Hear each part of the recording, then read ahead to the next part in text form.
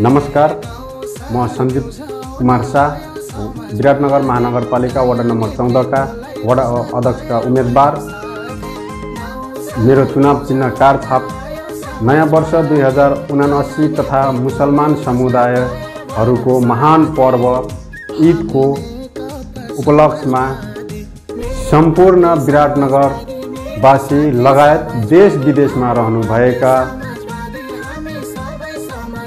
आमा बुवा दिदी बहिनी दाजुभाइहरूमा मङ्गलमय शुभकामना व्यक्त गर्दछु। म सञ्जीव कुमार शाह विराटनगर महानगरपालिका वडा नम्बर चौधका वडा अध्यक्षका उम्मेदवार नेकपा समाजवादीबाट मेरो चुनाव चिन्ह कार छापमा अमूल्य मत दिई मलाई विजयी गराइदिनु हुन हार्दिक अनुरोध गर्दछु।